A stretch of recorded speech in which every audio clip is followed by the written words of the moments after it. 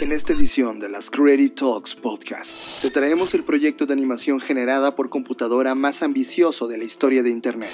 Quiero hablar de, de, esta obra que se llama, en español sería Realidades Alternativas. ¿Y qué pasó con Realidades Alternativas? Bueno, pues Clinton Jones tiene un canal de YouTube en el que tiene más de 600 mil suscriptores. Ya no sé ahorita, ah, después de este proyecto, cuánto haya subido su cuenta, pero él lanzó una convocatoria para crear este proyecto. Hablamos del reporte de cultura digital de YouTube. Que lo interesante es que estamos documentando todo, o sea, todo lo que estamos viviendo y lo que estamos dejando a nuestro paso está quedando documentado. Y de eso habla este, este reporte. Eh, lo dirige Kevin Aloka, que es director de cultura y tendencias de YouTube, y nos muestra algunas tendencias culturales observadas durante el año pasado. Obviamente esto lleva, como todos los reportes, pues un año de desfase. Estamos ante el colapso del contexto y el contenido.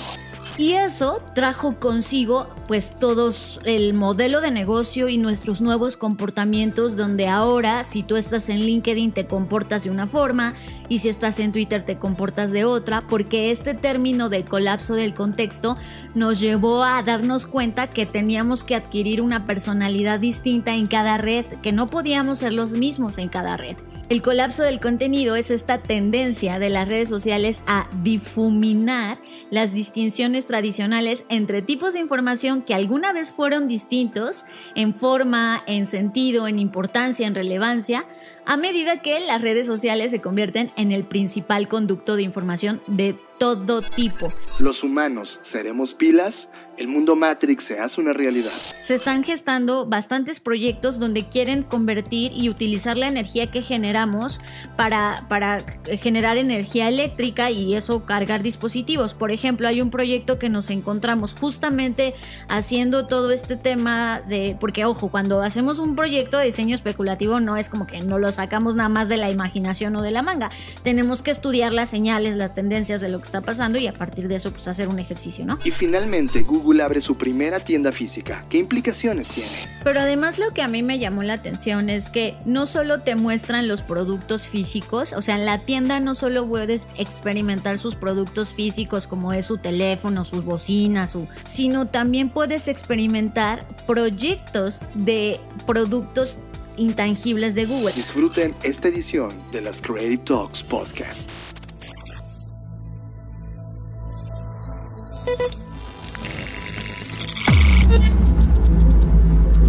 Black Creative Intelligence presenta.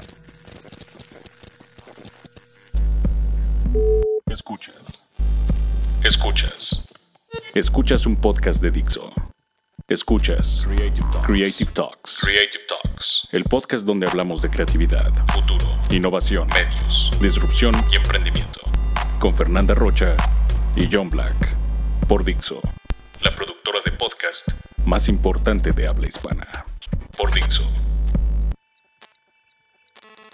Hola, ¿qué tal? Bienvenidos a Creative Talks Podcast. El día de hoy los saludo ya otra vez desde la Ciudad de México y con la gran compañía de John Black. ¿Cómo estás, John? Hola, ¿qué tal? Feliz de estar de nuevo en el estudio ya de Blackbot grabando estas sesiones.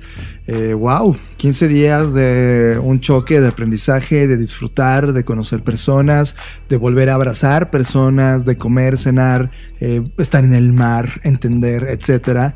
Y finalmente estamos de vuelta aquí en esta eh, conflictiva ciudad de 25 millones de personas llamada Ciudad de México y feliz de estar grabando una edición más de las Creative Talks Podcast.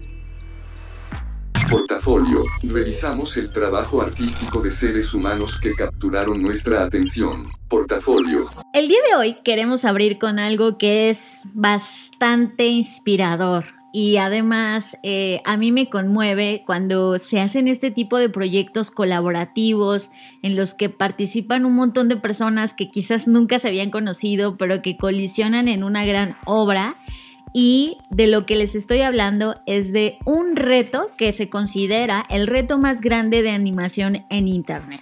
Wow, wow, ya tan solo el tag name es impresionante. Y sí lo es, Fer, sí lo es. Totalmente lo es. Y, cuando me lo enseñaste por primera vez, me emocioné. Eh, no pude quitar los ojos de encima del proyecto. Bueno, este proyecto lo dirigió o lo organizó em, Clinton Jones. ¿Quién es Clinton Jones?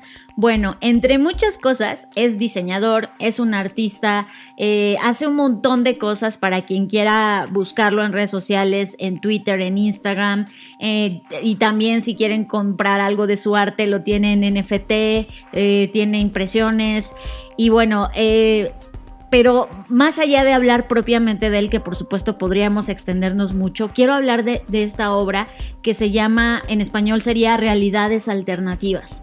¿Y qué pasó con Realidades Alternativas? Bueno, pues Clinton Jones tiene un canal de YouTube en el que tiene más de 600 mil suscriptores, ya no sé ahorita, ah, después de este proyecto, cuánto haya subido su cuenta, pero él lanzó una convocatoria para crear este proyecto y él puso las bases, es decir, sentó como... Um, una, una, digamos, con un template, que no lo quiero llamar así, pero como una base de, a ver, vamos a hacer este proyecto, todas las personas que quieran participar, bienvenidas, y la base del proyecto es esta. Y la base es algo simple en el, en el término del concepto, es una persona o un algo, un ser, un ente caminando, y ahí es donde empieza toda esta magia.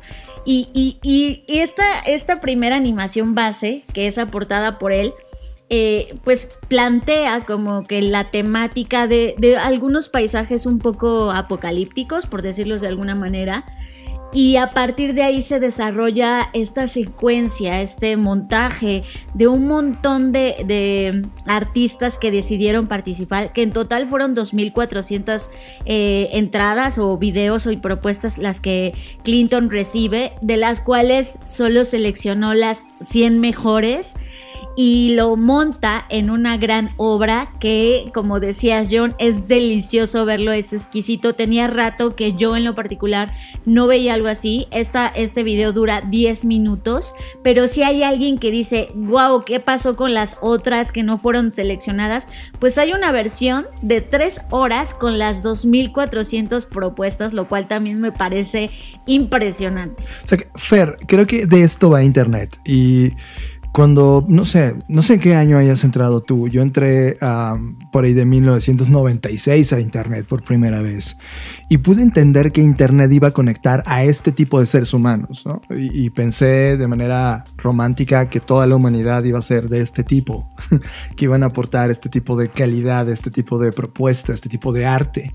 Hoy Internet está inundado de memes y de contenidos simples y de contenidos fáciles y de contenidos masivos. Y de repente cuando llega este tipo de cosas, ¿no? Donde, donde trae la genética de la colaboración, donde trae la genética del el arte, el diseño y una narrativa. Es que yo te diría, para este podcast, ponle pausa en cuanto termine esta sección y vete a youtubear este video y piérdete 11 minutos en cada una de las secuencias cada una de las secuencias. Y no es mentira cuando te digo que cada secuencia, que dura unos 3 segundos, 4 cada una, es una bestialidad narrativa. Es que eh, lo impresionante es que en una secuencia tan corta hay mundos tan profundos. O sea, yo lo veo así. Si, si cada, cada frame o cada secuencia fuera ya sea un video más bien, no un video, sino una película, o un, el inicio de una serie, o el inicio de un libro, lo vería. O sea, es, es, es como se me hace un esfuerzo eh, tan profundo y me parece impresionante que en tan poco tiempo te logran mostrar mundos tan locos, tan justo alternativos, tan distintos, pero al mismo tiempo con tanta similitud a lo que estamos viviendo y este toque eh, de, de posapocalismo también te hace sentir como como nostalgia por algo. Es como si ya hubieras viajado al futuro y sientes este dejo de nostalgia de, de lo que fue, de lo que pudo ser, ¿no? Es, es, es algo extraordinario. Y es que, ¿sabes que A mí, a mí me recuerda porque el arte y la creación está aquí. Y porque los humanos estamos ligados y nos dejamos seducir tan infinitamente por este arte y porque es tan importante la línea del tiempo actual. Como tú dices, Fer, cada historia narrada en cada frame es, un, es un multiverso. Conectado en un frame eh, de 11 minutos que hizo este ejercicio colaborativo. Y es cuando me doy cuenta que los artistas y creadores son esto, exactamente es esto. Son personas que, perdón, no tengo que hacer un estudio, una investigación, una búsqueda de referencias para decirte lo que pienso yo de una historia.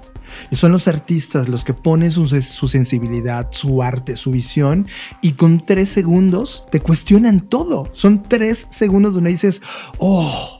Y, sí, o sea, es, es, un video que aunque dura 10 minutos, tendrías que tener la paciencia y, y, como el tiempo para poderle dar pausa en cada corte, en cada cambio, porque esos tres segundos no son suficientes. O sea, eh, eh, si tú paras el video entre cada intervalo, te vas a dar cuenta que hay tanto en esa imagen, tantas cosas que rescatar y lo que está de fondo y, y las cosas pequeñitas que, que, están ahí, que Los no están... Personajes. Sí, sí, sí, es, es una locura. Y, y de hecho, eh, en la descripción del video, él enlistó a los cinco, al top 5, o sea, todavía de esta curación de 100, hizo un, todavía un top 5. Y, y, yo no sé si estoy de acuerdo porque necesitaría ver todavía más a detalle, pero aún así, o sea, creo que aquí, y no es un cliché, pero de verdad ga ganaron todos. O sea, e, el hecho de, como bien dices, John, que te, que te cuestione algo y que sea tan poderoso, o sea, eh, hablando de términos de, de tema de, de, animación, ni siquiera, y lo criticábamos, ni siquiera la serie de, o la recopilación de Love, Death and Robots lo logró. Exacto. ¿no? Y, y, de en repente un, en estos un nano, proyectos... en un nanocorto, natome, nanometraje, nanocortometraje, esa es es impresionante, coincido. O sea, lograron conectar con nosotros, hacernos sentir cosas que no lo logró el otro profesional, ¿no? Esto habla del espíritu que hace falta en estos tiempos, de aventarte a crear, de aventarte a curar, de abrir la convocatoria y decir, vamos a hacer un movimiento. O sea, es, perdón, yo soy un gran ilustrador, pero si de repente nos juntamos los 100 más cool por el trabajo, podemos hacer un movimiento y hacer un statement. Y como tú dices, Fer, ¿fueron más de cuántos? ¿2.000 trabajos? 2.400. O sea, 2.400 y solamente estás viendo un pedacito de 100, o sea, de claro los mejores. que como lo dije al inicio, si quieres ver los 2400 están disponibles. Es un video que dura tres horas, o sea, por Dios, le hemos dedicado tres horas a otros no, proyectos, o sea. No. Sí, o sea, es más, en verdad, este podcast puedes ponerle pausa, abrir ahora mismo YouTube y buscarlo. ¿Cómo lo buscarías, Fer? Bueno, pues yo me iría al canal de Clinton, que es Va. PW Nisher, así. ¿Cómo se? P-W-N-I-S-H-E-R. Ahí está, ahí está todo, es lo primero que te va a salir. Y de todas maneras, estamos nosotros subiendo cada semana, eh, junto con el podcast, pues todos los links y enlaces a todas las referencias que hacemos acá. Disfrútenlo y cuando terminen de ver estos 11 minutos, regresen a esta edición de los, Creative Talks Podcast. Tema de la semana. Este es el tema que nos robó totalmente la atención. Tema de la semana. Bueno, después de esta maravillosa entrada vamos al tema de la semana y vamos a hablar de un con concepto que es el colapso del contexto. ¿Y qué es eso? Bueno, de acuerdo a quienes acuñaron este término, es el aplanamiento de múltiples audiencias en un solo contexto. Y este es un término que es ya viejo, y me refiero que no, no es que nació ayer, y surge del estudio de la interacción humana en Internet, especialmente y por supuesto en las redes sociales. Este colapso del contexto generalmente ocurría cuando un exceso de diferentes audiencias ocupaban el mismo espacio y una parte de la información destinada a una audiencia llegaba a otra y la comprensión de esa nueva audiencia o audiencias era aún más fuerte por no entender el contexto original. Ya sé que suena como muy muy nudoso, pero les voy a poner algunos algunos ejemplos más tangibles, pero antes de eso quiero decirles como de dónde ha venido evolucionando y cómo lo vamos a conectar al colapso del contenido. Este término del colapso del contexto surge gracias al trabajo de autores Erving Goffman y Joshua Meirowitz en su libro No Sense of Place.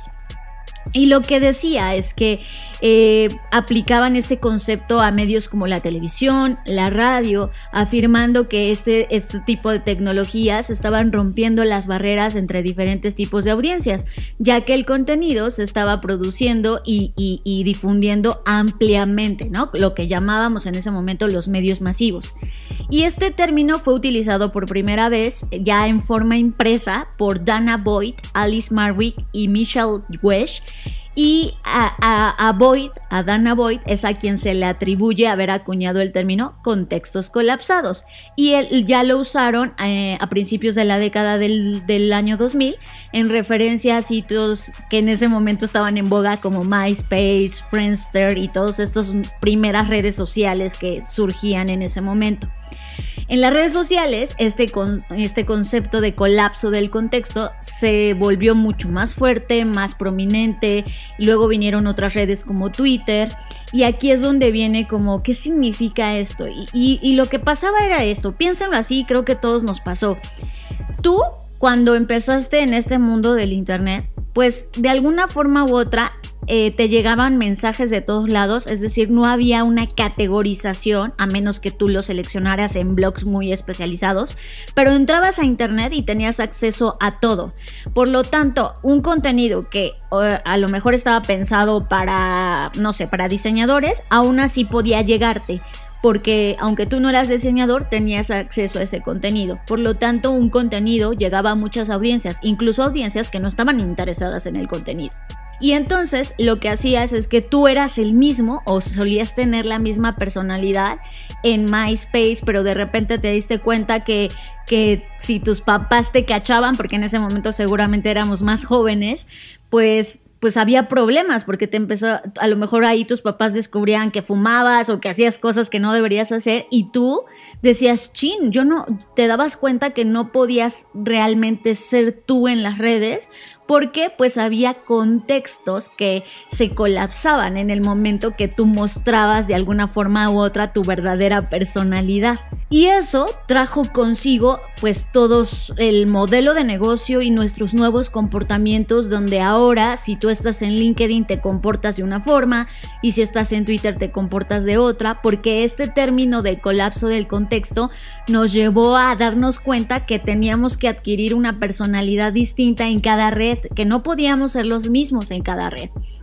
Pero resulta que ahora con el contexto que estamos viviendo actual de la pandemia, del coronavirus, de la desinformación y de todo lo que está pasando, pues como que de alguna forma estamos intentando, aunque sea inconscientemente, volver a regresar a ese momento donde tú eras el mismo en todas las redes, donde tú te podrías mostrar tal cual era y, pareciera que ahora hay esta falsa autenticidad en donde te quieres ver como auténtico, pero sin perder esta simulación de vida que estás teniendo, lo cual es muy complejo. Entonces, a eso se refiere este colapso del contexto, en donde hay tantas cosas ocurriendo que, que al final están terminando justo en eso, por colapsar, por derrumbarse, por, por cuestionar nuevas formas y por eso tenemos esta lucha en Internet. Y eso, ahora sí, me lleva a lo que quiero hablarles, al tema del colapso del contenido. Ya esta parte del colapso del contexto sigue siendo un concepto importante, un concepto base importante, una lente que tenemos que pues conservar. Pero lo que está quedando claro ahora es que un tipo de colapso está en este momento llevándose a cabo y es el colapso del contenido.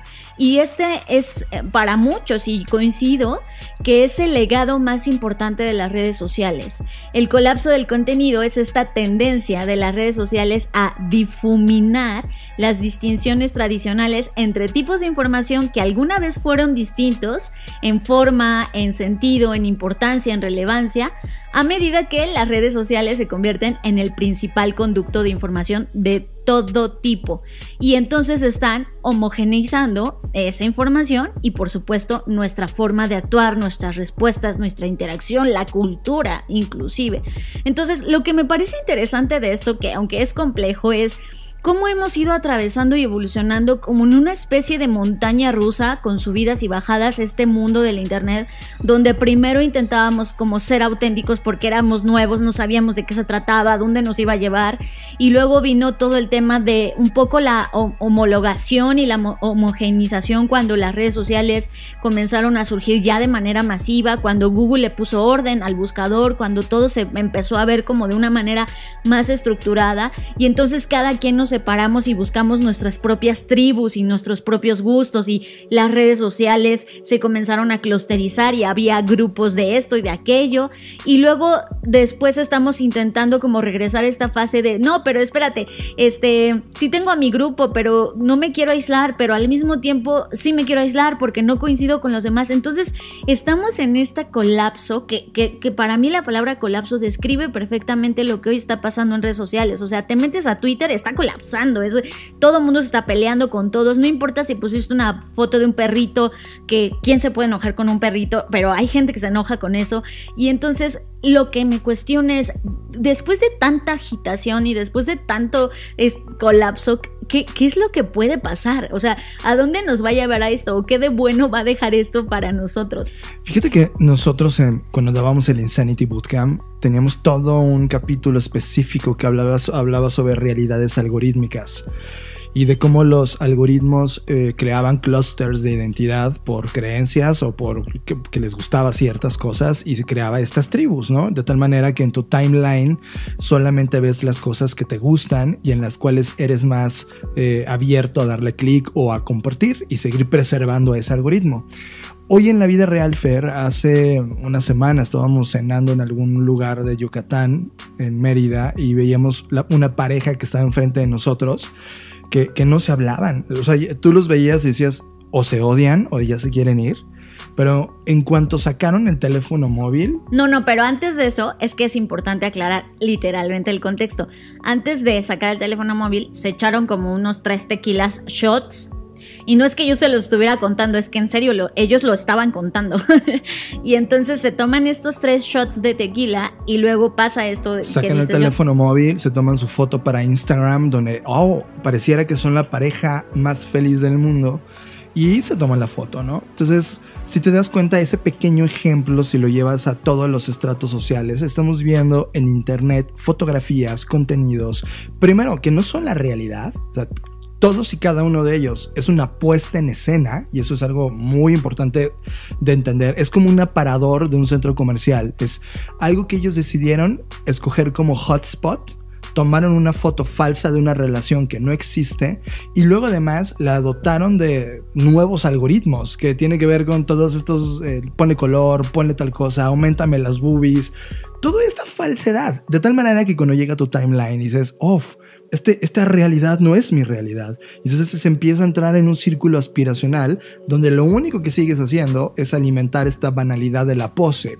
De tal manera que en la post-realidad, ¿qué significa? Es una realidad de nichos, una realidad algorítmica, una realidad no existente, pero existente en el momento en que existe en digital. Y eso está quebrando cada uno de los sistemas porque, ojo, las personas no les enseñaron a leerlo. Es decir, las, las, personas, si tú le pones esta realidad a un ser humano como nuestros papás, que entran por primera vez a Internet, van a decir, hoy, ¿en qué momento el mundo que conocía ahora está llena de esto? Y eso lo consideran como algo nuevo de la realidad. Y eso afecta todos los sistemas de creencias, contenidos, medios, etc. Y eso es un tema súper interesante. Cuando yo estudié por primera vez comunicación, te, te daban un libro negro, no, me acuerdo, creo que se apellidaba Wolf, quien había hecho todo este condensado de teorías de la comunicación.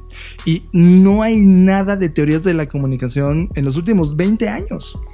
Y, bueno, ahí voy a desmentir un poco eso porque justo estos contextos, estos conceptos de los que estoy hablando, justo son de estas nuevas generaciones. Sí, pero ¿no? se lo están enseñando a las nuevas generaciones. Eso, eso, es, la, eso es la problemática. Y, y justo en esta teorización de lo que está pasando ahora, pues ponen como un punto de quiebre o un punto de partida el tema del newsfeed, como el newsfeed que Facebook introdujo por allá del 2006, que ya parece muy lejano, fue lo que al final del día detonó este revoltijo, esta cacofonía, este cambio radical, este nuevo...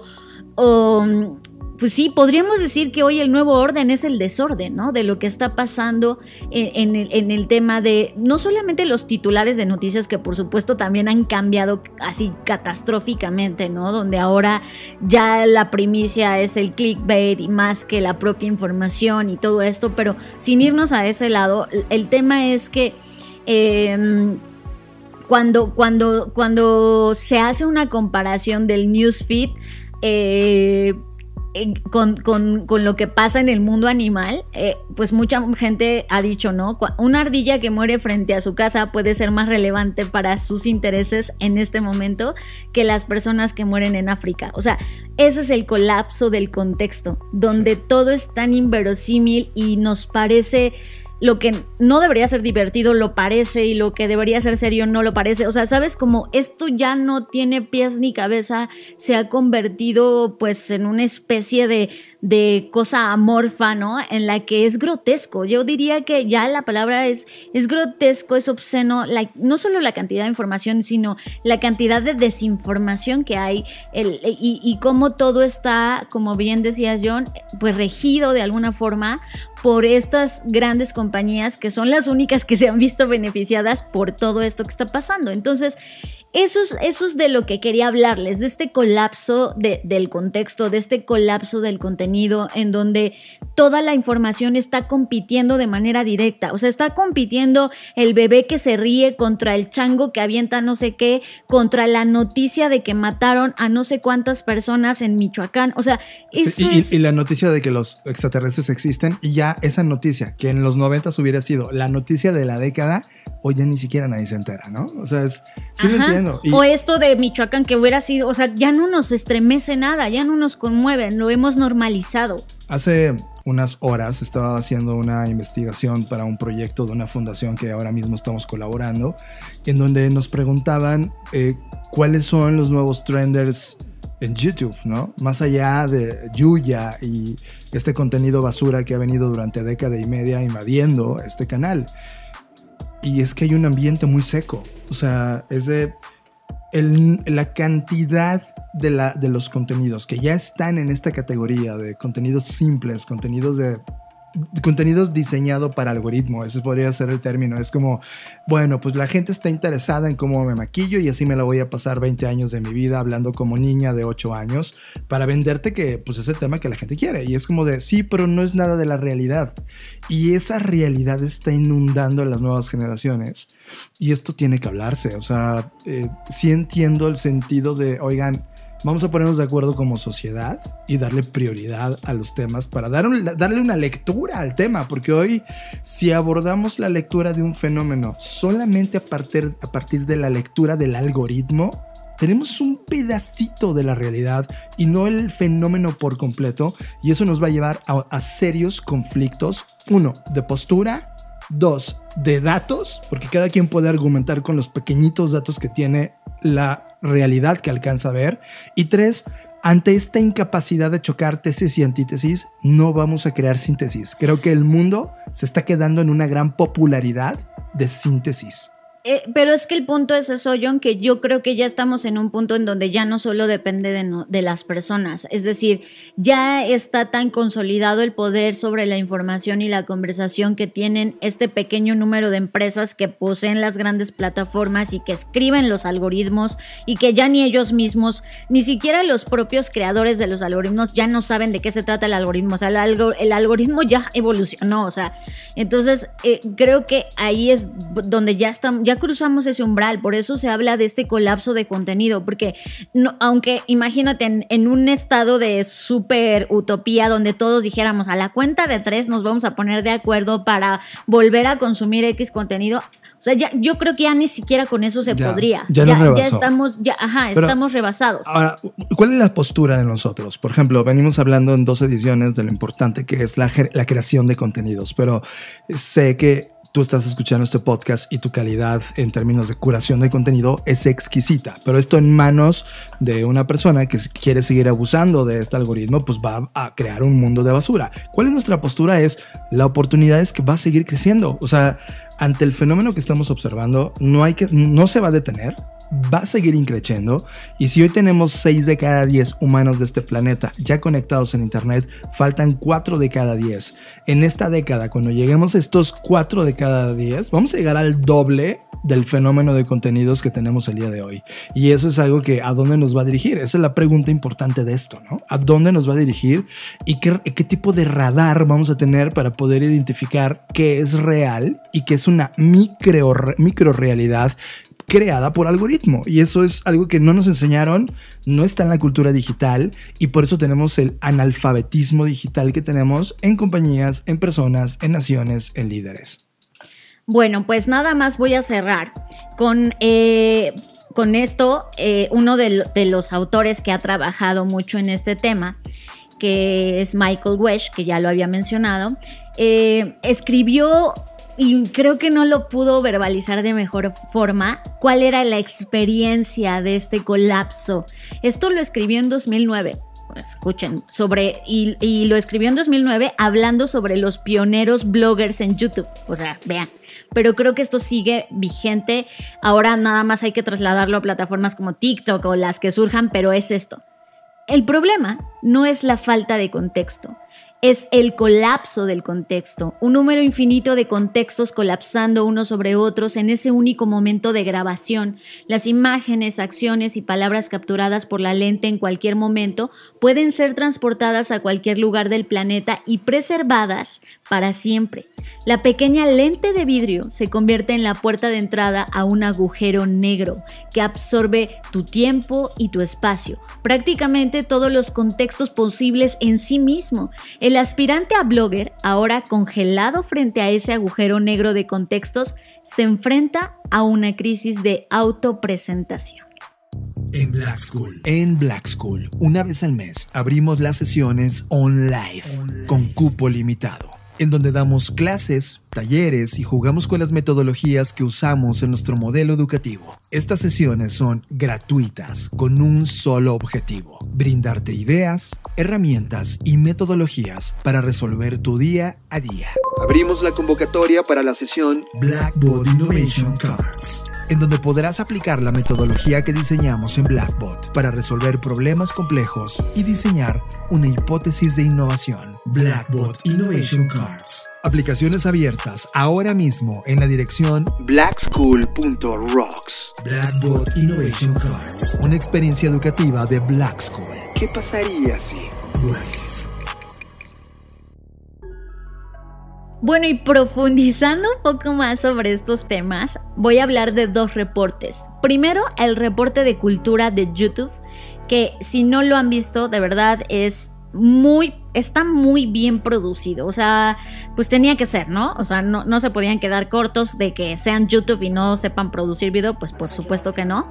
Bueno, pues ellos presentan algo que se llama YouTube Culture and Trends Report y lo que hacen en este reporte, pues es justamente hablar de cómo está cambiando la cultura a través de lo que consumimos audiovisualmente principalmente, pero pues todo lo que está colapsando, hablando de este colapso, en plataformas como YouTube. Y me parece muy importante, digo ya, si ustedes lo ven van a poder extraer sus propias conclusiones, pero a mí lo que realmente me emociona es que este tipo de ejercicios, tanto con lo que abrimos el podcast como con este, eh, es que a pesar de que estamos eh, inmersos en este ecosistema digital y todo eso, la verdad es que a veces olvidamos que todo lo que hacemos en línea se está midiendo, se está rastreando, ¿no? O sea, como que de repente te desprendes de eso, pese a todo lo de políticas de privacidad que hay y todo eso. Pero más allá de, de esta parte negativa, creo que que lo interesante es que estamos documentando todo, o sea, todo lo que estamos viviendo y lo que estamos dejando a nuestro paso está quedando documentado. Y de eso habla este, este reporte.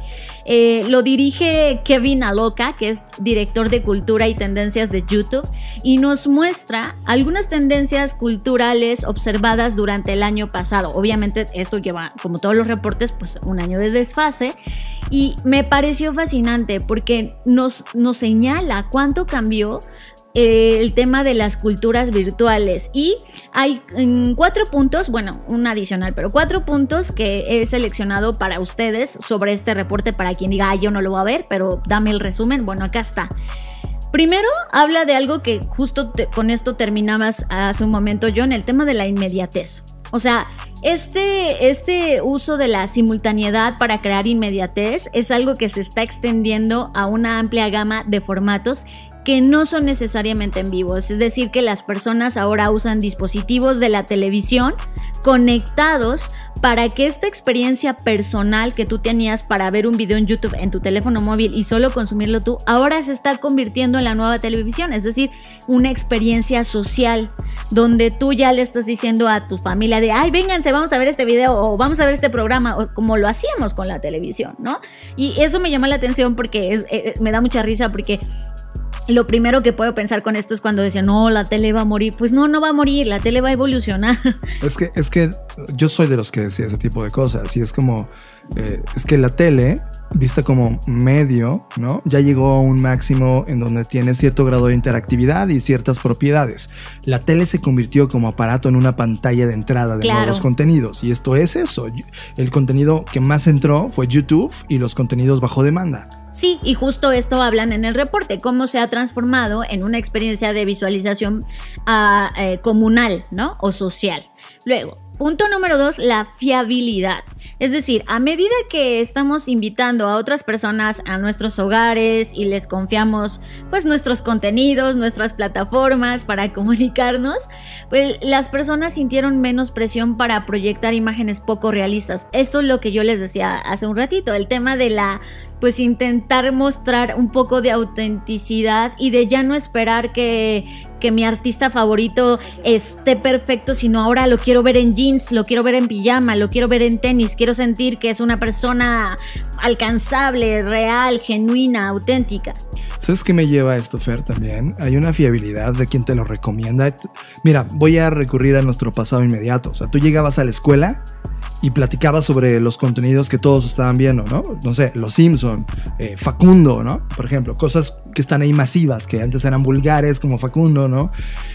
Populares, interesantes como Los Simpson y eso era como, ah, sí, pues está bien, Fer, qué bien, qué, qué buena lectura tienes del último capítulo que todos vimos. Había una homogeneidad en el, en, el cómo te estabas exponiendo estos contenidos masivamente. Hoy, en una conversación, pues no sabes si el otro le vio el mismo video que tú. Entonces estás llegando con, oye, ¿ya viste este, esto? Y le enseñas. Entonces eso crea un tema de afinidad cultural por tema. Es decir, si tú ves a Guachaguacha, que hace memes de videos con ardillas, y yo veo a Guchu que hace memes de leones con, grabados, y de repente tú me recomiendas esto, ah, ok, nuestra afinidad es el mundo animal de los memes, pero tu curación hace de, oh, Fer es súper curadora. Le voy a preguntar mañana qué está viendo, porque sé que me trae un contenido a like a mí, afín a mí. Eso te da una fiabilidad en mi pequeñísimo círculo social de amantes de los memes de animales. Pero imagínate en un lugar donde te da un poco de miedo, como decir, oigan, ¿ya vieron esto? Y resulta que estás en un lugar donde ni les interesa este contenido. Se defragmentó también los intereses. O sea, aunque es contenido masivo, se defragmentó ya por tema, multitema, microtema, subtema, nanotema, para llegar a algo tan peculiar que es muy fácil encontrar a las personas que son afines a ti y la fiabilidad se vuelve en un nuevo ranking humano. Ahora, eso nos lleva a la autenticidad extrema o la relatabilidad radical. Y eso es, pues ellos hablan de la relatabilidad como algo muy relevante que se deriva de la capacidad de, que las personas tienen para expresarse en el video es decir, cómo emplean inteligentemente el lenguaje del video digital, sus formatos, la estética, eh, pues todos los aditamentos que hoy ya se pueden gracias a la tecnología que tú le agregas al video. Entonces, entre más relatable seas, entre más autenticidad, y lo pongo entre comillas, muestres en el video, más afinidad hay de la audiencia de decir, wow, ¿cómo lo hizo? voy a poner un, ejemplo que es un mal ejemplo porque no es de YouTube, es de TikTok, pero da igual no, seguro lo vieron, donde había una, una viejita que cambiaba de outfits y de gorras y daba vueltas por todo el cuarto y este video se lo hizo su nieto, su no sé quién. Y la gente estaba pero anonadada de cómo lo hizo y grababa y se para de cabeza en el techo y hace esto y hace aquello. Y es claro, porque entre más cosas estamos sintiendo que la relatabilidad es más auténtica. Esa relatabilidad tiene que ver con el storytelling, ¿no? La capacidad de contar la historia. Sí, totalmente. De, un modo en donde pues antes no, o sea, la verdad, ningún modelo narrativo del pasado es, es, comparable con un modelo narrativo actual. O sea, la cantidad de elementos multimedia que traes a la hora que cuentas una historia, pues antes era muy individual del medio y no de este mashup. Y que justo, eh, no sé, John, a ti y a mí nos pasó cuando estábamos en Mérida buscando como, a ver, vamos a ver qué, qué, qué lugares, etcétera, y buscamos en YouTube y decíamos, ¿qué tal? ¡Qué impresión! O sea, ya los youtubers de viajes, ya Nat Geo ya se quedó atrás. O sea, muy sofisticados y justo habla de esto. Y finalmente, la inmersividad, que quiere decir el universo, así, así, el universo de experiencias de contenido que crean inmersión y se conectan con el espectador al ubicarlo dentro de la experiencia de entretenimiento en sí. Es decir, y aquí hablaron muchísimo del tema de los videojuegos, que por supuesto en este podcast hemos hablado muchas veces, y de cómo es actualmente, y esto sí me impactó, el espacio más influyente en la cultura juvenil más grande que la música. O sea, en algún momento la música era este motor y esta fuerza que, o sea, que, marcaba las generaciones, ¿no? Y que decíamos, no, la música de antes estaba más bonita y lo que sea, pero ahora la música se está desplazando a un segundo lugar para darle eh, la entrada al tema de los videojuegos que se está volviendo lo más influyente en la cultura juvenil. Y aquí, ojo, o sea, esto nos interesa a todos, porque igual tú vas a decir, ay, pues a mí me valen los videojuegos, me vale, pero es estas personas que hoy están en esto son al final del día a quienes tú les estás intentando vender, con quienes tú estás intentando conectar.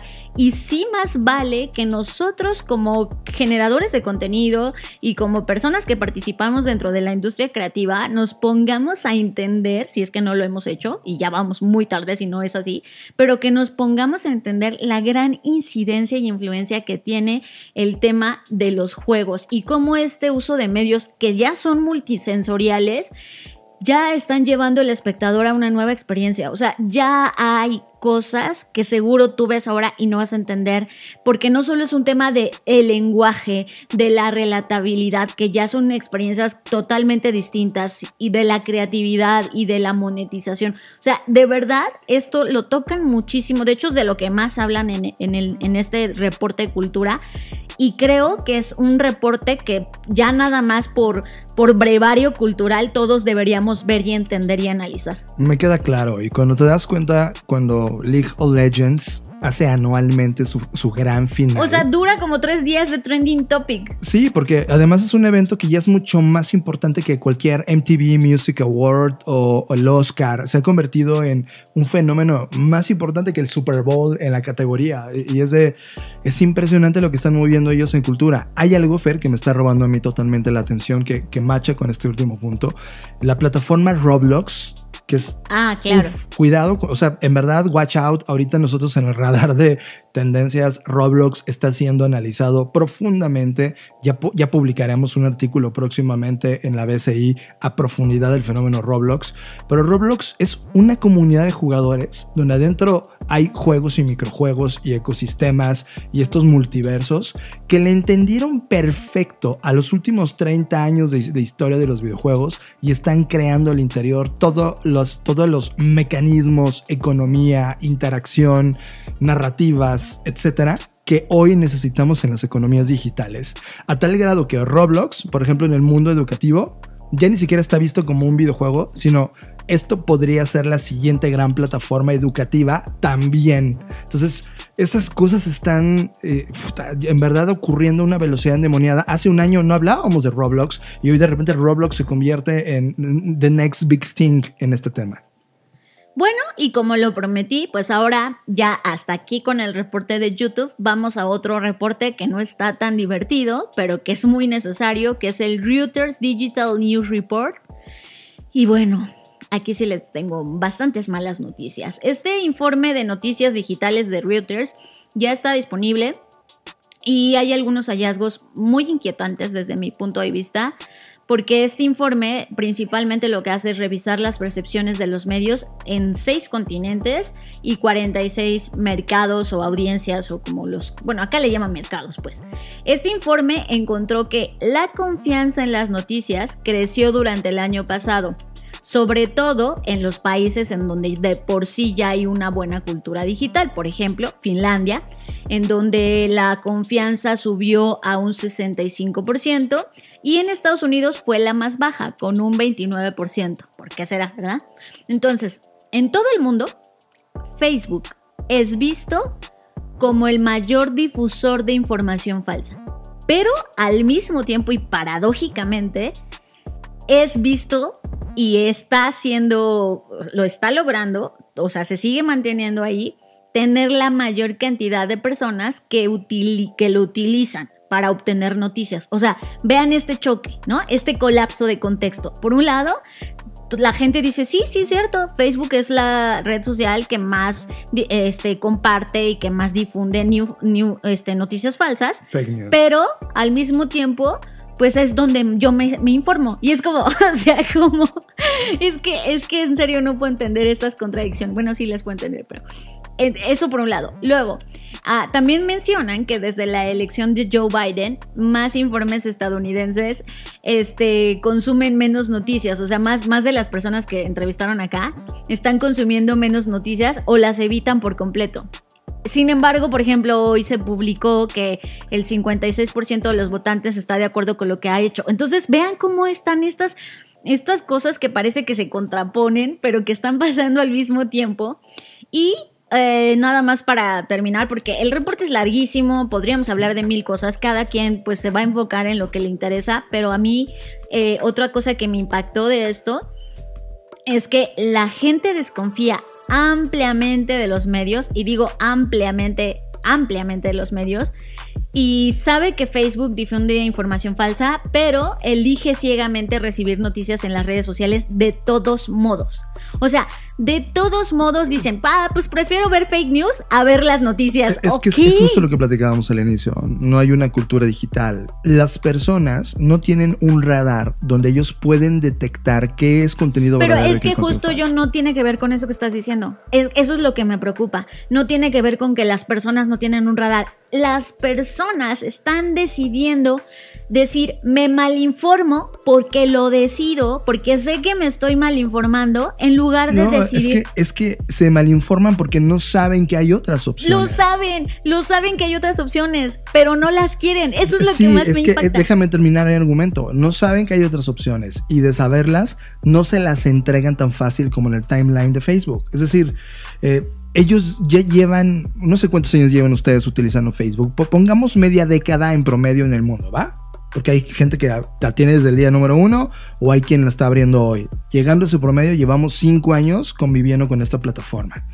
En esa media década de relación, pues ya están tus amigos, ya están tus fotos, ya, están, ya no la vas a soltar, ya creaste una relación, hay una parte importante de tu mundo y de lo que haces todos los días dentro de esa plataforma.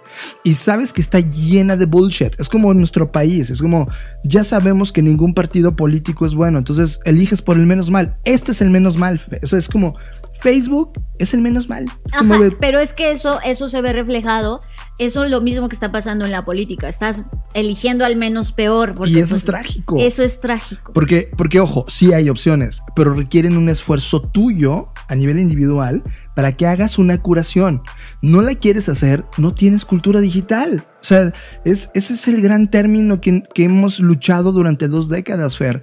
No hay un solo proyecto en el mundo donde se hable de cultura digital. Lo más cercano es vamos a ponerle internet a todos. No, señor, poner internet no es cultura digital.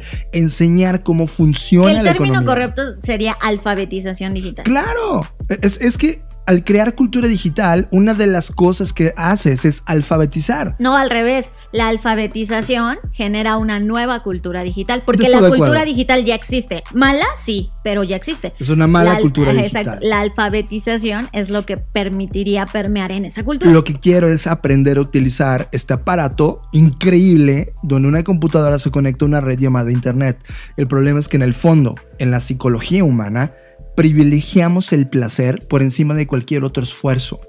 Y lo que hicieron muy bien las redes sociales es darnos esta dosis de placer constante que ya crearon esto, la sociedad echándose a perder, la sociedad eh, mostrando su peor lado posible en plataformas y luego truqueando su mejor y única cosa que hacen bien, tomar fotografías y ponerse filtros.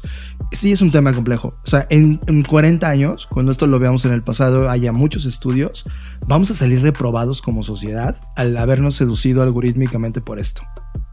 Estás escuchando Creative Talks Podcast. Ya lo habíamos platicado, eh, sobre todo en las clases que damos sobre cultura digital y, e innovación. Esta diferenciación de hardware y software, déjame explico rápido. Compañías como Google, es que hoy no puedes ir a una tienda y decir me das 10 pesos de Google. No hay, no, existe. Pero porque es una de las compañías más importantes del mundo, porque creó todo un modelo de negocio a partir del software, los programas, las aplicaciones, tu, tu, tu correo que tienes, etc. Y nosotros advertíamos que para poder liderar esta década, este 2020 hacia 2030, estas compañías de software tenían que convertirse también en compañías de hardware. Voy a darte un ejemplo contrario a Google, Nike. Nike es una compañía que vende hardware. El hardware es esta unidad física, este producto llamado ropa o tenis, algo que puedes ir a una tienda y comprar. Hardware. Lo que hizo Nike al momento de hacer Nike Plus es experimentar la compañía como si fuera también una compañía de software, de tal man manera que hoy Nike es una compañía de hardware y software. Algo que tiene que hacer Google, al ser una compañía de software, es jugar más en el hardware. Por eso empezaron a vender estos dispositivos físicos, electrodomésticos, inteligencia artificial a través de estos dispositivos de bocinas. Y ahora Fer, después de todo este tiempo que hemos analizado cómo las compañías de software se convierten también en compañías de hardware, finalmente Google llega a uno de los barrios más importantes de Nueva York y abre una de las tiendas físicas más grandes de la industria tecnológica. ¿Qué ocurre dentro de este lugar? Las tiendas, y eso es algo que todo mundo ya lo sabía quien estábamos analizando temas de experiencia, las tiendas ya no tienen el KPI más importante que era vender. Las tiendas ahora el KPI más importante es pruébame. Vive la experiencia, siéntate y pruébala, juégala, trata de entender cómo esto puede entrar a tu vida y después probablemente me, me, compres. Es más, muchas tiendas ahí mismo pides y te llega después a tu casa, ya ni siquiera te la puedes llevar en el instante mismo. De tal manera que las tiendas se convirtieron en tiendas de experiencia y no en tiendas de venta. Esto es lo que está probando ahora mismo Google y de hecho este pensamiento de la tienda de Google es muy anti-Apple. De hecho, eh, Ivy Rose, que es la directora de diseño de Google que conceptualizó este espacio, le dio una, una, una, privilegió totalmente el poder jugar con los productos reales en ambientes reales, donde las personas, las personas se sentaran y vivieran los conflictos, las virtudes, la curva de aprendizaje que tendrías si compraras solamente el producto y te llevaras a tu casa y te decepcionaras, a vivir eso dentro de la tienda y entonces el equipo de Google te atiende para poder resolver esos problemas y hacer que tu alfabetización sobre esos temas crezca rápidamente. Pero además lo que a mí me llamó la atención es que no solo te muestran los productos físicos, o sea, en la tienda no solo puedes experimentar sus productos físicos como es su teléfono, sus bocinas, su, o sea, no solo eso, sino también puedes experimentar proyectos de productos intangibles de Google. ¿A qué me refiero? Por ejemplo, hay una sala que está rodeada de pantallas en donde tú te metes y dices una frase y en las pantallas ves la frase traducida a más de 24 idiomas. ¿Qué experiencia estás teniendo ahí? Pues la del traductor de Google, que no lo puedes, o sea, no puedes comprar el traductor de Google, es un software que se descarga, pero como parte de la experiencia que vives en la tienda, tienes estas experiencias inmersivas con la tecnología que a lo mejor ya conocías o que ya habías usado, pero lo estás experimentando de otra forma. Y eso me parece pues muy interesante porque cuando vas a cualquier tienda de tecnología, ya sea Apple o otro tipo de tiendas donde venden tecnología, normalmente como que se centran en que tú experimentes o juegues con los productos, los toques, ahí le apachurres los botones, pero acá es no, o sea, es como vive todo lo que hacemos en Google. Totalmente, creo que este statement de, ver cómo el hardware y software se convierten en el pensamiento filosófico que todas las compañías deberíamos tener.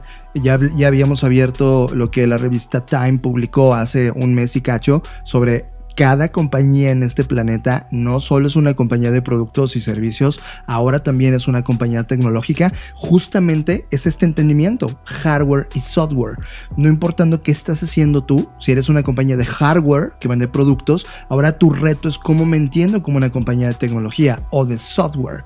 Y si tú eres una compañía tecnológica, de software, ahora es como me entiendo como una compañía de hardware. Y esta simbiosis entre hardware y software va a crear un completo rediseño de experiencias y de modelos de negocios que a lo largo de esta década vamos a estar viendo. Y creo que Google, haciendo este ejercicio, que ojo, venía probando con pequeños pop-ups en distintos lugares, ahora tiene este monstruo de tienda que la verdad a mí yo lo celebro, va, a ser algo eh, que visitar, va a ser un lugar que analizar, ellos mismos van a estar midiendo sus tecnologías ahí y eso va a abrir una nueva era en la experiencia física en esta intersección entre software, software y hardware. Estás conectado a Creative Talks Podcast.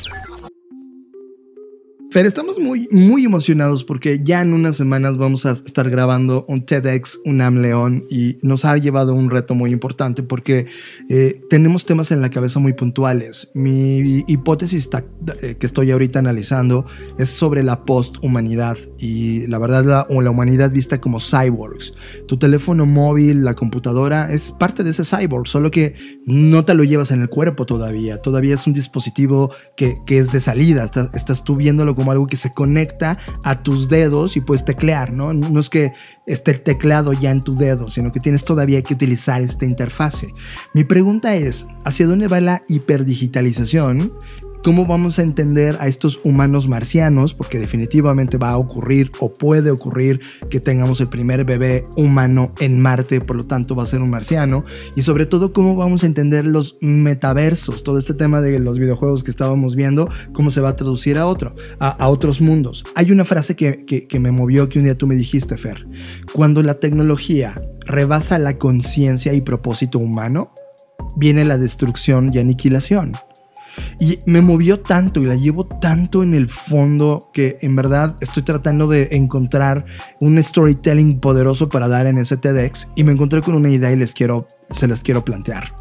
Encontré un artículo de Alex Bateman. Alex Bateman es un escritor de historias de ciencia ficción que, ojo, yo no he leído ninguna, apenas lo acabo de descubrir, pero él agarraba una hipótesis de Kardashev que hizo en 1964. Se llama Nikolai Kardashev, que es un astrónomo soviético. Imagínate ese mundo de 1964 en la Guerra Fría, en plena carrera espacial. Pues Kardashev dijo, miran, la humanidad se va a dividir en distintas fases, en distintos tipos de humanidad y estableció cinco tipos de civilizaciones. Tres, ¿no? Cinco. Ah, yo sabía que tres, ok. Son cinco. La primera, la civilización de tipo 1, son estas civilizaciones que han aprovechado el 100% de la energía accesible de su propio planeta. ¿En dónde estamos ahora como humanidad? Somos una civilización tipo cero, es decir, todavía no llegamos, apenas estamos en la curva de aprovechar 100% la energía disponible en nuestro planeta. La civilización de tipo 2 aprovecha el 100% de la energía accesible en el sistema solar. La civilización de tipo 3 aprovecha el 100% de la energía accesible de la galaxia. La del tipo 4 no es oficial, pero se concibe eventualmente como una civilización que puede aprovechar el 100% de la energía accesible en el universo, no solo en la galaxia. Y el tipo 5 es quien ha aprovechado toda la energía accesible del multiverso. Es decir... Ah, claro, eh, o sea, sí, justo por eso, porque en la, en la teoría original solo hay tres y estas 4 y 5 supongo que han sido agregados son, de Son agregados naturales de la conversación. Ahora, estamos en la civilización tipo 0 entrando la tipo 1 y entonces hace un listado de cosas que vamos a ver en esa curva. La primera, despliegue masivo de la energía nucleoeléctrica. Y eso es interesante. Tema número 2, el dominio de la fusión. Tema número 3, eh, renovables, es decir, todo este tema de singularidad, este tema eólico, este tema solar. Cuarto, recuperación del desierto, y eso es una realidad. La desertificación. Sí, viene un tema muy importante. El calentamiento global va a provocar que ciertas zonas que eran vegetales y verdes se conviertan en desiertos, y eso vamos a tener que utilizarlo para generar energía. Cinco, la agricultura oceánica Y ya también estamos viendo algunos ejercicios en distintas partes del mundo. 6. La minería oceánica. Y ese es un tema que, oye, somos muy buenos cavando cuevas en la tierra, pero también bajo el agua hay cuevas y ahí seguramente hay escondido materiales interesantes para hacer energía. 7. Energía oceánica, que eso ya también comienza a aprovecharse. 8. El desarrollo de los recursos antárticos. Y eso es evidente porque al deshielo pues van a estar disponibles esas nuevas zonas para explorar y producir energía. Y 9, que esta le escribí yo, las unidades de calor corporal. Y aquí es donde me quiero detener. Piensa tú en esto. Fer y yo acabamos de regresar de Mérida. Una de las grandes conclusiones de Mérida es que para vivir en Mérida necesitas tener un consumo energético altísimo por una simple razón no aguantas el calor de 35 grados promedio a 85% de humedad. Necesitas enfriamiento. Por una simple razón, tu equipo de cómputo no es capaz de trabajar a 35 grados. Se te va a echar a perder. Entonces, este ambiente no natural que simulas necesita mucha energía, muchísima. Cuando lleguemos a la explotación de estos recursos, viene el noveno tema que te acabo de decir, la unidad de calor corporal. ¿Recuerdas esta frase? Te la voy a leer textual, ¿eh? En aquella época, dependía de la energía solar y se creía que no podrían sobrevivir sin una fuente de energía tan abundante como el sol. A lo largo de las máquinas hemos aprendido, hemos dependido, perdón, de las máquinas para sobrevivir. El destino, al parecer, no está carente de cierta ironía. El cuerpo humano genera más bioelectricidad que una pila de 120 voltios y más de 25.000 julios de calor corporal. Combinado con una forma de fusión, las máquinas habían encontrado toda la energía que podían necesitar. Existen campos NIO, donde los seres humanos ya no nacemos, se nos cultiva. Fuck. Es, entonces cuando empiezo en el TED Talk, voy a, voy a poner los límites a donde podemos llegar. Vamos a explorar estas nueve, nueve, fuentes alternativas de energía para llegar a ser una civilización tipo 1 que además está ambicionando ser tipo 2 porque queremos llegar a Marte. Y justo eh, ante esta, esta hipótesis de qué pasaría si el cuerpo humano, si nosotros nos asumimos y nos vemos como una pila, ¿no? Y como una fuente de generación de electricidad y de energía. Que pudiera recargar tus dispositivos como tu teléfono, por ejemplo. Y que justo a eso voy, o sea, el tema de cuando te asumes como esto, ¿qué usos y aplicaciones podría tener, no? Más allá del mundo apocalíptico, apocalíptico que nos presentó Matrix, creo que sería una cosa riquísima porque pues somos millones de habitantes en este planeta y, esto que estamos diciendo lo propusimos en un, en un, este, en un diseño pues bastante especulativo que hicimos sobre, ok, hay, un, hay una tecnología, o sea, en ese mundo donde ya cada persona eh, es vista como una fuente de energía, existen servicios como algo que nosotros decidimos llamar Brainly, que Brainly es un servicio que tú tienes conectado en tu casa, así como hoy conectas eh, Alexa o conectas estos nuevos dispositivos de voz, pues este también lo conectas en tu casa y se ve como un modem, pero en realidad es una fuente concentradora de energía, donde tus emociones y aquí es la parte que más me gusta de este proyecto, es tus emociones se traducen o se convierten en energía. Y yo no sé si ustedes han visto estas escalas como de, las energías y, que producen las emociones, ¿no? Donde hay eh, este, emociones de baja vibración y emociones de alta vibración, ¿no?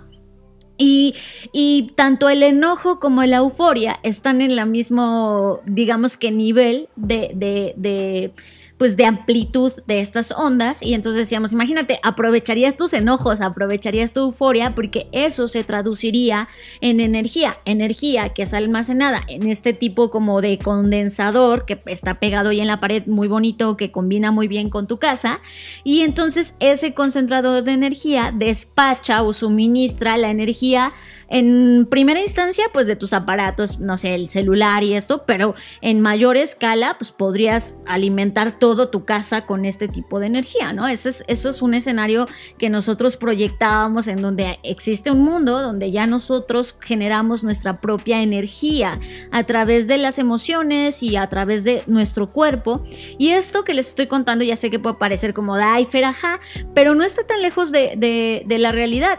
De hecho, en este momento se están gestando bastantes proyectos donde quieren convertir y utilizar la energía que generamos para, para generar energía eléctrica y eso cargar dispositivos. Por ejemplo, hay un proyecto que nos encontramos justamente haciendo todo este tema de, porque ojo, cuando hacemos un proyecto de diseño especulativo no es como que no lo sacamos nada más de la imaginación o de la manga. Tenemos que estudiar las señales, las tendencias de lo que está pasando y a partir de eso pues hacer un ejercicio, ¿no? De, de prospectiva. Entonces, eh, justo estuvimos investigando que por un lado hay muchas patentes registradas al respecto, pero por otro lado ya hay proyectos como uno que ocurrió en Japón donde hay un chico que, que es una especie como de anillo entonces ese anillo eh, almacena o vive con la energía. Obviamente ahorita eh, apenas si prende como un LED, ¿no? Y es como, ok, pero se logra, prende el LED. Entonces, pero ahora imagínense si pudiéramos como sí entender y sí traducir todos estos joules a energía eléctrica, pues sería maravilloso. Y ese es el tema de nuestras posturas del TED. Es decir, eh, sinceramente, en la línea del tiempo del presente, se están echando a perder, están, están caducando muchos conceptos y muchos comportamientos. La gran pregunta es, ¿qué tipo de humano queremos ser? Este post-humano que se, va, a exponer ante estas tecnologías y ante esta necesidad de energía, de sociedad y de todo lo que hemos estado criticando el día de hoy en el podcast y analizándolo, ese es justamente un punto de partida que sí queremos discutir. Así que lo, quise traer solo como un tema exploratorio porque todavía no hemos terminado de grabar ni de, crear la presentación para ese TED, pero ya les diremos cuándo está disponible porque seguro va a estar sensacional. Estás procesando Creative Talks Podcast. Todo comenzó en 1972 cuando por accidente el doctor Shuren Seagal descubrió la rapamicina. Poco a poco sus usos y aplicaciones fueron evolucionando hasta mostrarse como un prometedor medicamento que podía prolongar la vida al retrasar la aparición de enfermedades relacionadas con el envejecimiento, así como sus efectos. Si bien la historia farmacológica ha estado llena de sustancias que supuestamente retrasan el envejecimiento o alargan la vida útil, hasta que apareció la rapamicina, nada había funcionado en estudios clínicos rigurosos. Habla Matt Kiverline, investigador líder de biología del envejecimiento en la Universidad de Washington. Audio recuperado de TIC Media. No puedes vivir para siempre, al menos ahora, pero creo que lo que hemos aprendido es que, en primer lugar, el envejecimiento es solo biología. Y lo que quiero decir con eso es que son tus genes en tu entorno lo que determina qué tan rápido envejeces. Y como hemos aprendido más acerca de cuáles son esos mecanismos, por primera vez hay oportunidades para intervenir realmente en ellos, para ralentizar el proceso de envejecimiento y, en algunos casos, parece que es posible inclusive revertirlos. Si el avance de estos hallazgos sigue progresando, no podemos descartar la posibilidad de encontrar lo que José Luis Cordeiro ha llamado la muerte de la muerte. Esto nos lleva a preguntar, ¿qué pasaría si pudiéramos vivir para siempre? Una nueva encuesta de aproximadamente 900 adultos estadounidenses publicada en el Journal of Aging Studies les preguntó si les gustaría tomar una pastilla que les permitiera vivir para siempre a su edad actual y solo alrededor del 33% dijeron que sí, otro 42% dijo que no y 25% dijo no estar seguro. ¿Y a ti? ¿Te gustaría vivir para siempre? Esto fue desde el futuro. El espacio de así las cosas, donde nos preguntamos ¿qué pasaría si? Nos vemos en el futuro. Wow, ha sido un viaje magnífico el día de hoy. La verdad es que me entusiasma muchísimo hacer el podcast porque siempre estamos aprendiendo todos, todas, constantemente. Y pues eh, espero que ustedes también lo hayan disfrutado tanto como nosotros. Quiero dar las gracias el día de hoy en particular a quienes tomaron el taller de My Future Self, que la verdad estuvo muy emotivo, pero al mismo tiempo muy productivo. Y pues también a los que ahorita están cursando y manténganse atentos porque vamos a lanzar nuevos cursos y talleres en Black School. Por ahí tenemos pensados algunos que están en el tintero que ya esperamos pronto darle salida, así que manténganse pendientes. También recuerden que esta es nuestra semana de fin de mes, la próxima semana, entonces va a haber sesión gratuita de Blackboard Innovation Cards y para quienes son suscriptores de la Black Creative Intelligence, pues ahí nos vamos a reunir en nuestra reunión mensual de suscriptores y también tenemos nuevas noticias y nuevas sorpresas para esa comunidad. Así que muchas gracias y pues ya saben, yo soy Fernanda Rocha. Me pueden seguir en redes sociales como arroba Fernanda Roche. Yo soy John Black, yo fui John Black. Gracias por esta sesión y Fer, como cada edición. Nos vemos en el futuro. Dixo presentó. Dixo presentó. Creative Talks. El podcast en donde hablamos de creatividad, innovación, medios, disrupción y emprendimiento. Con Fernanda Rocha y John Black. Por Dixo, la productora de podcast más importante de habla hispana. Nos escuchamos en el.